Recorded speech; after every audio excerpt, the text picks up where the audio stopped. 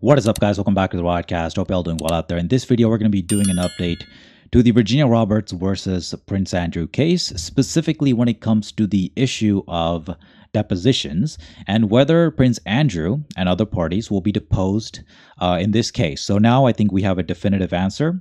Basically, everybody is going to be deposed, including Virginia Roberts and Prince Andrew. That's what it seems like right now. In the future, Prince Andrew might try to get out of it, but we'll go over we'll go into that more in a second here. So I made a video about whether Prince Andrew will be deposed back in August. We didn't have a definitive answer back then, but it seems like we have one now, and that is because uh, there was a pretrial conference that took place where the parties discussed the potential of how many depositions are going to take place during the trial. And we have some exact details on this.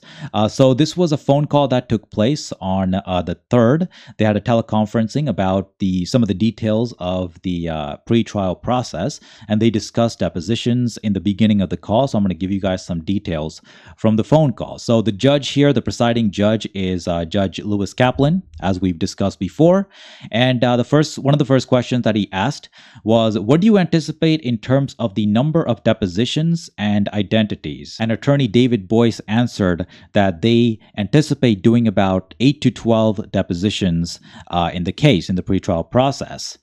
And um, they said certainly the parties involved are going to be deposed as well. So that's Virginia Roberts, who's suing, who's a plaintiff, and the other parties, the defendant, uh, who is uh, Prince Andrew. So both of them are going to be deposed according to Boies. Now, it, should be mentioned that according to the Fifth Amendment of the Constitution, Prince Andrew can say that he doesn't want to answer any questions if he fears uh, self incrimination. So that does still exist. As you guys may remember, Ghislaine Maxwell continually took the Fifth Amendment in certain uh, certain aspects of her deposition when certain questions were asked that she didn't want to answer.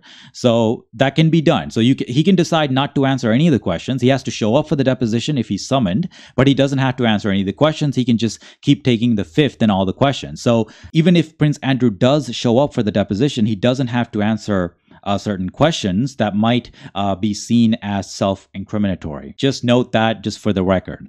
And uh, David Boies went on to say that he will be deposing people from across the pond uh, from the UK, and uh, letters rogatory will be necessary for that. Letters rogatory are a way that one country's uh, legal system or judges can demand a party from another country be compelled to testify when there is an absence of a treaty or some other official way of uh, compelling testimony, right? So, as they explained right here, letters rogatory are the customary means of obtaining judicial assistance from overseas in the absence of a treaty or other agreement. Letters rogatory are requests from courts in one country to courts of another country requesting the performance of an act which, if done without the sanction of the foreign court, could constitute a violation of the country's sovereignty. So, there are laws in all countries that prevent their citizens from being targeted by other countries. So, this, this, these letters are a way of giving permission to the legal system of one country, in this case the U.S., to demand, um, in this case, depositions of citizens of another country, in this case, the UK. So, in this case, it would be the Southern District of New York, the Federal Circuit, a Federal Circuit judge requesting a deposition from a citizen of the UK that's relevant to this case. Okay, so that's what letters of rogatory are used for.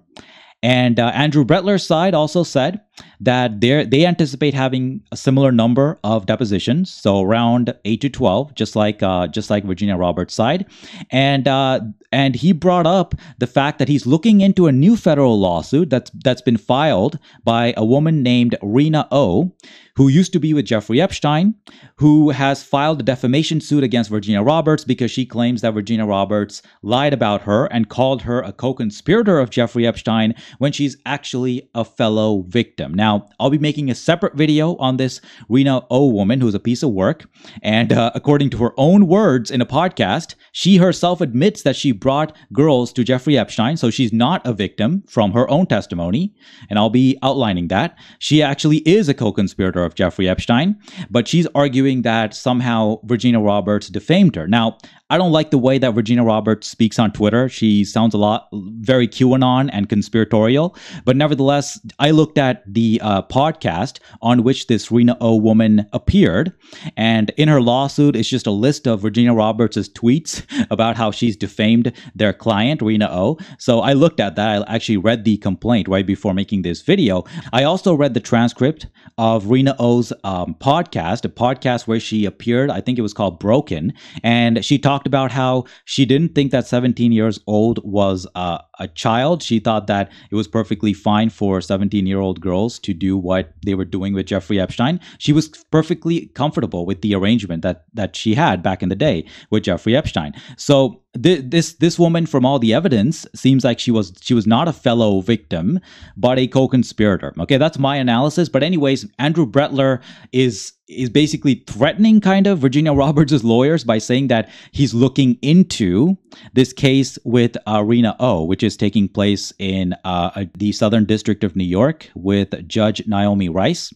And uh, that case is also proceeding. Maybe I'll cover that one as well because I'm interested in seeing what happens. Andrew Brettler also went on to uh, insult Virginia Roberts by claiming that all she's doing with these lawsuits are just trying to get money. So he's basically attacking her in a similar way that Alan Dershowitz is attacking her.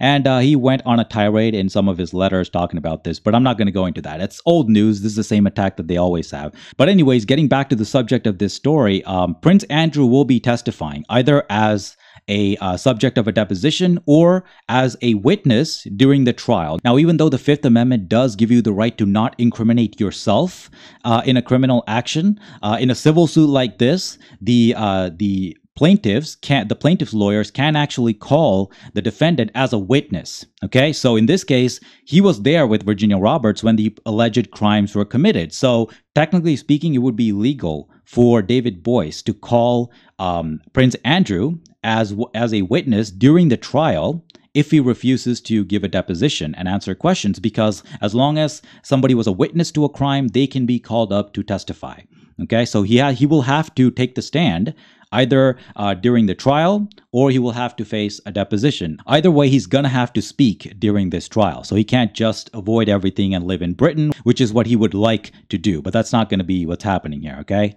All right, guys, so that's all I gotta say for this video. Thank you so much for watching as always. Make sure to like the video, subscribe, hit the bell, and press all so you can get my future videos.